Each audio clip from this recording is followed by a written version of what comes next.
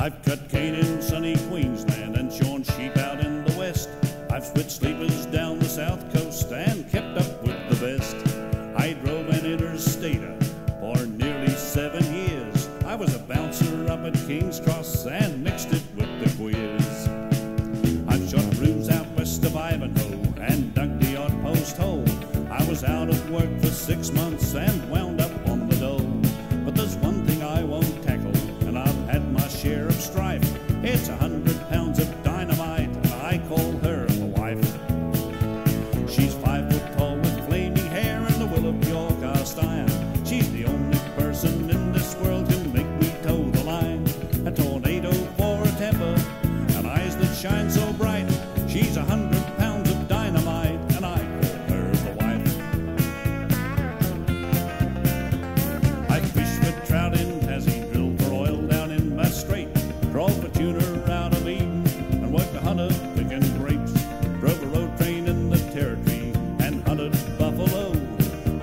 In the Murray Valley and cut timber at Dorrigo. I've flown a plane, dropped dust, and I dug spuds and I picked peas. In any kind of occupation, there's nothing frightens me. There's just one thing I'm afraid of, scares me right out of my life. 100 pounds of dynamite, and I call her the wife. She's five foot tall with flaming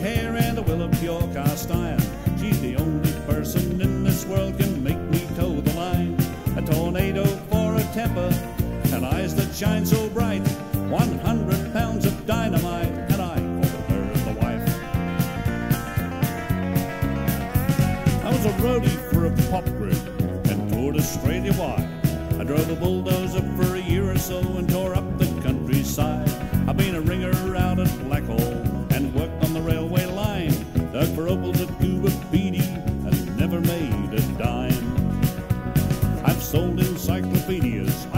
once an insurance man. I did my time in the Nashos and I served in Vietnam. I've tamed lions in a circus, and I'll ask you not to laugh when I say my life's ambition is to tame my better half. She's five foot tall with flaming hair and a will of pure cast iron. She's the only person in this world can